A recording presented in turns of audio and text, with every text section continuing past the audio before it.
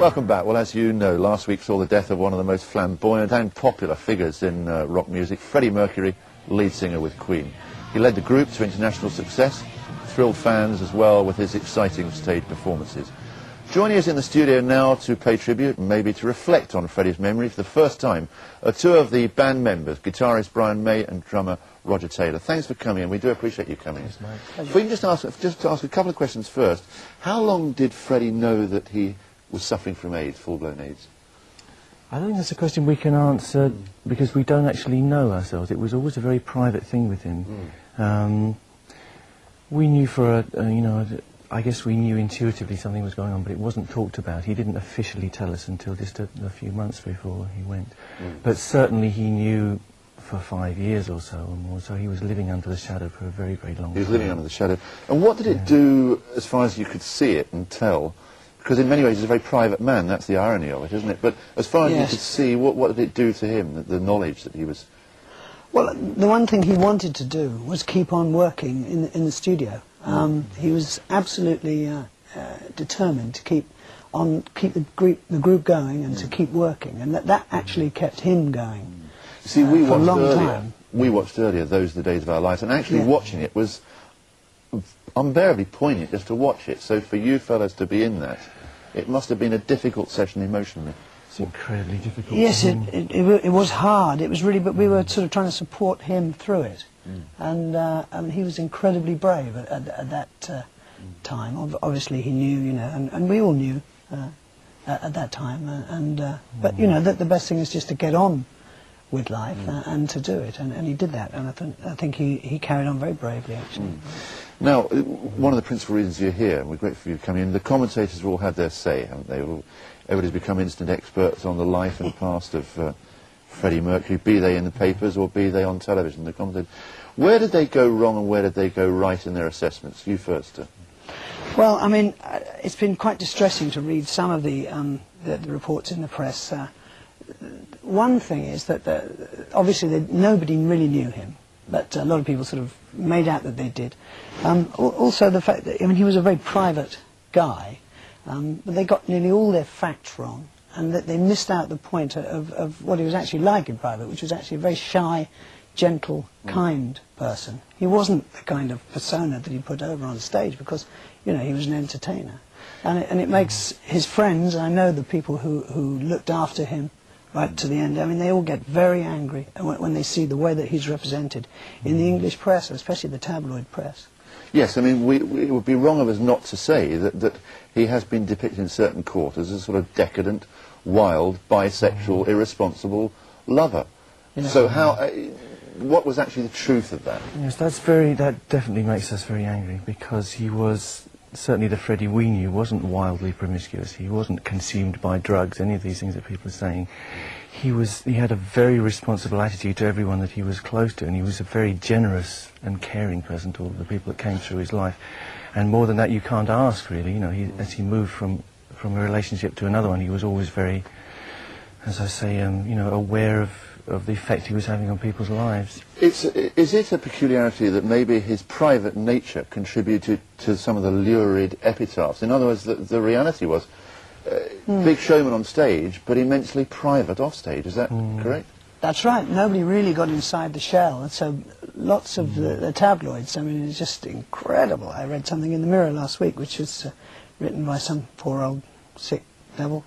Um, it's just so wrong. So they obviously made things up because they probably couldn't get inside. And for the last 18 months of his life, he was hounded by press outside his house. And we all have been up to a point. It's quite incredible in this country. But he really was a prisoner in his own house for the last 18 months of his life. Were there times years ago, because I mean you're familiar visitors here, both of you, when you'd liked him to have been more upfront and him to have uh, answered interviews and maybe handled the press more? Would that have helped? Do you think? Um, not necessarily. I, I think we didn't always agree, and there were times when we talked about it. But Freddie was very much his own man. He made a decision very early on in his life that he was going to do things his way, and um, certainly we respected that. We all have our own ways, but within the, the group, you know, we respected that he was going to handle his own life, and certainly his own attitude to what he was suffering towards the end was his own business, you know. So in some senses we were gagged by that, which was hard for us, you know. You find yourself even not being able to talk about it to friends. Now that's kind of lifted, we can be very, very open about how we feel. It's interesting hearing you talking because, uh, Roger, you particular, particularly give the impression that none of you really knew him. He was, wasn't one of those people you really knew. I think, I mean, we were very, we were very close as a group. I mean, always for 22 years. I, th- I think, but it's even we didn't really know know a lot of things about Freddie because he was quite a mystery. But I tell you, we, we do feel absolutely bound to stick up for him because he can't stick up for himself anymore. So, you know. Right, there's, there's no curb on people being able to say things about people once they've died. So there's very little Yeah. curb on what they can do when they're alive in this country.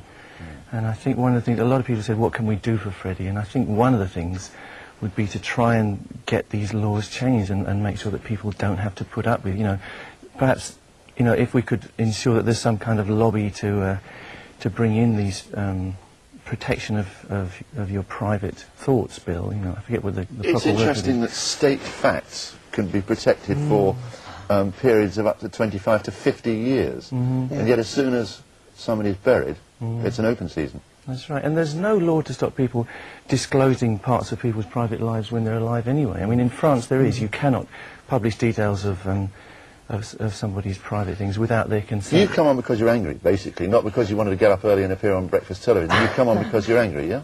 that, that's the main partly fuel, yeah? because we're angry. We, we also just. want to explain really what, what we feel that we can do now Hmm. with sort of Freddie's legacy in a way. You know, we- we- and also I think That's right. There's a lot to say, really, because Freddie made one crucial decision before he died, which was to announce the fact that he did have AIDS, Yeah. which was a very brave and I think well-timed act on his part, because it gave us and those close to us a, a kind of weapon um, to talk about AIDS. You know, it would have been very easy for him to put on his death certificate pneumonia, you know, which he knew, and it could have perhaps sidestepped the whole thing. The fact that he announced it and said, "Look, I've got this," and and and he was there was no shame to that. I think is very important because there shouldn't be from this point, or not from any point, any stigma to having this disease. It's nothing to do with you know somebody did something wrong, he's being punished. That's got to go. It has to go. You know, it's everybody's problem now. We're going to talk much more uh, later, fellas. I, I just Mm. love one theory about what created that magnificent showman. Any, where was it the Persian background? Do you have any theories on it's so what's- difficult because he was so much his own creation. Uh, uh, he really was his own man in, in that sense. Uh, I, I really don't know. I mean, he, It's like sporting constant- or, or musical genius art. You wish you could Yeah. distill it. Mm-hmm. That's right. Yeah. It was a one-off. Yes. Listen, fellas, we'll be chatting much more later, but for the moment, thank you very much for joining us. Thanks for having us. It's Roger Taylor and Brian May with us. It would be pathetic if the death of Freddie Mercury was left as the death of Freddie Mercury, a few lurid epitaphs, be they on television, be they in newspapers, be they on some other form of film. Got to be something more to that, to it than that.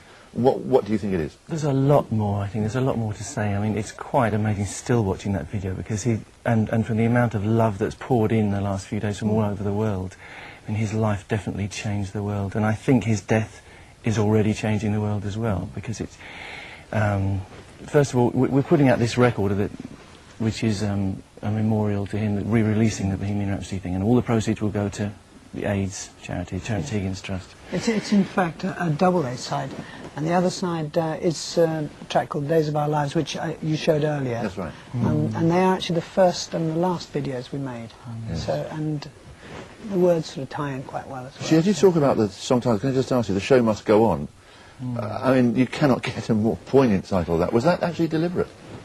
Was There's there a deliberate lot, nature? There's a lot of things in a lot of the songs. If you look back now, which you'll you'll find sort of bear some sort of um, have some sort of bearing on what was going on. Yes, the songs generally aren't about one thing. There's usually different levels in a lot of the songs. you know. You made a claim just then, and people will ring in. I mean, such is the nature of people. They'll say, "What do you mean he changed the world?" What, you know, that's an extravagant claim to make. How, I think how would you defend that? What, well, what I mean? think, I mean, he, he uh, I think one of the results of his life can be that, that people have a different attitude to people being gay. I really hope so. You know, and it's in a way been quite hard for us to talk about it because it was very much his business while it was going on. But here's a guy who was strong, who was incredibly talented, quite magnificent in, in every way you can think of, and he was gay and was quite public about it. So I don't think anyone can ever quite feel the same about that anymore. I mean, and it's time, God knows, you know. But uh, it shocks me that you still read in the paper. I mean, yesterday there was something in so and so admitted he was gay. Now, anybody who writes admitted is guilty of a slur, you know, and there's no reason on earth why, why anyone, anyone should be allowed to get away with that now. So I we certainly feel able to sort of throw ourselves behind that now, you know. So it's going to be. Um, heteros for gay or whatever it is, you know. I Presumably don't know what it's all of gonna- you as well, you, th- you think, as, as a band, everybody who was connected with him, that at least this is the chance for something positive to come Yeah, out so of much it. positive can he can, You of it, can do yeah. so much. That's exactly what Freddie wanted in, in, in his, especially in his last um, sort of period. He felt that by making the announcement, he could turn something positive, you know, out of this sort of awful thing that was happening, and, and uh, we intend to to carry that through. And we're thinking of doing something next year, some kind of event. Uh, you know, probably in his name, that will will be something positive and will raise a lot of money. We hope. Because it's almost inconceivable, really, thinking of Queen performing without him as the lead vocalist. Well, yes, it, it's is pretty inconceivable. inconceivable, actually. Yeah, yeah. So- what, will- what will happen to you? We haven't really decided. We haven't really. I mean, we've been quite knocked over by it, as you can imagine, and we haven't really got over the first stages of, of grieving. I don't think yet. No. We- and we haven't. We've decided we would shelve all this business of what would, what do we do. First of all, we deal with the situation as it is, and Freddie has given us such a magnificent um, kind of platform. I mean, we, we can certainly make money for the AIDS business, you know, with no problem at all. You And we can also raise awareness of it, which is definitely happening already. I know you were saying to me about the record company, everyone has foregone a profit on this. Yes, All the money goes- EMI, um, yeah. uh, donating all of their side as well. So every penny is uh, going towards the uh, Terence Higgins uh, Trust.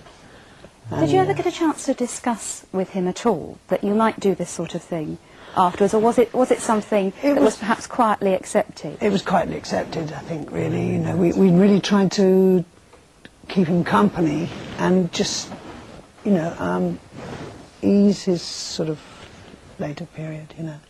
As Paul Daniels is, is listening here, were you a, a fan of Queen and of Freddie Mercury? Well, no, because I, I I wasn't a fan of, of any music. I just did put my head down. I should imagine like you did into music. I put my head down into magic, and this all this music business sort of went on at a different level.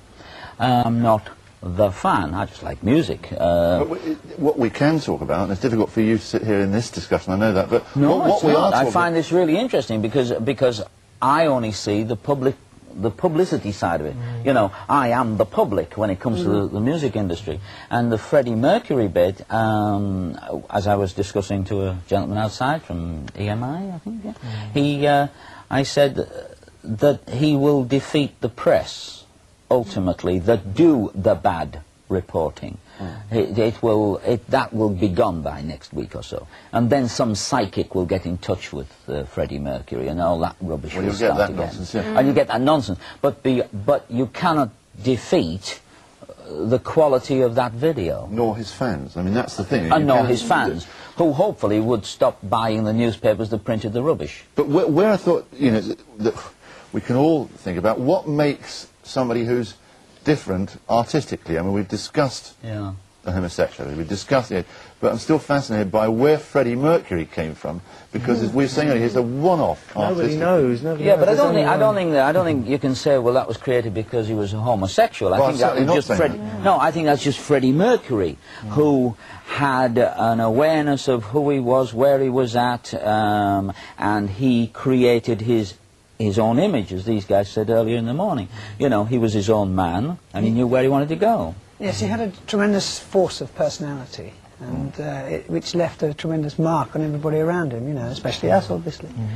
You were talking about the difference as well between him on stage and at home. That is an interesting part of people who are very often in the public eye and in the music business, isn't it? That you can be a great showman when you're out there, so live when you're on stage at one level, and then walk away from it entirely. It's a healthy balance to keep, I Yes. think. You know, it's, a, it's a good a stage, as Paul would agree, it's a good place to be someone else and work off all the things that you need to do. Yeah. And you can go away and be private. I as say it, I think he's a bit like Michael Jackson. Showman, hmm. mm-hmm. perfectionist, and private. That's right. Yes, Yeah. very private and, and, I'm a perfectionist as and well. yes, very dedicated. And, You've got to be that. If mm. you're not Well, you're that, you, you, if you're not that, you, you're, you're nothing. You, you're just another one. Mm. Um, I know when you're talking about being off the stage, you're normal. I always used to say, well, if I was any different, my mother would slap my legs. and and, and, and it's, you've got to have that. You've got to have that common sense balance that says, hey, I'm just a guy. Yeah. I can do tricks. Freddie could sing. But the this sad guy thing can that play seems like you wouldn't believe. was that he didn't have one single person in his life who who made him very very happy. Well, that hasn't really been reported, you know. I mean, he mm. didn't. He didn't, in fact, die alone. He died with a very stable and loving relationship, which that people don't see fit to report. You know, they still harp on about. I mean, the only thing which is kind of regarded as he legitimate. wasn't miserable. That's you know, right. I mean, which is, has been. Yeah, so it's, it's all crap. I mean, this, the proper story has to be told somehow, you know. But, you know, the papers were full of various things which seemed scarcely relevant, you know, about the funeral and everything. But nobody said there were actually, in fact, three guys who were very caring who were with him to the end. You know, nobody mentions that Yeah. sort of stuff. And that'll know. be a great And comfort one in, to fans who know that he that he did have That's that right, a totally stable relationship, yes. yes. I mean, this is contrary to what everybody knows, you know, and it's not for us to, I mean, it's still a private matter, you know, it's not for us to go on about that. Absolutely. But just, it's nice for people to know perhaps that, that don't believe any of it, folks, you know. Yeah, it's really not true. It's also, it is true. we felt it's very irresponsible of some of the newspapers to, to call AIDS a fashionable disease because it's, it's not fashionable. It's, horrific. It's It's terrible. It's not fashionable No, because I- it's can with we talk a little more about AIDS? I, I think, because I think, I know that people at last have been saying this, but let's say it also, you know, this is not something which is, is just affecting people who are promiscuous or people that are gay or people that are this or that, drug users. It's everywhere now, you know, and it's totally irresponsible to suggest that we're kind of safe because th- if we're none of these things, you know, our children are going to be incredibly at risk. At the moment, women are incredibly at risk because it's so easily transmittable heterosexually to women. So we've got to be incredibly careful from this moment, you know. And anyone who suggests that it's that it's uh, someplace else and we're still okay, folks, is is committing a terrible crime against the rest of us. Absolutely, and that in a way should be the verbal epitaph, shouldn't it, to um, Mm-hmm. Freddie Mercury. Listen, Brian Roger, we do appreciate you coming in. Thanks talking for and putting at least some of the records Thank you. straight. We, we, we hope There's you a lot more to come. I know there's a lot more. Maybe you'll come in again if you can bear another early morning start. Yeah. Thank you for Musicians having hate early morning start. Paul, as ever, a welcome guest. Thank you very much. And can I equally say that I'm not giving any of the royal family magic lessons, which I read in the paper this week. Thank you. Oh. So setting the But record now they've seen that, they might demand it. So maybe. and good luck with the video, Paul. Daniels' magic show, the very The uh, best highlights of Highlights, yes. many highlights. years. Thanks for joining us.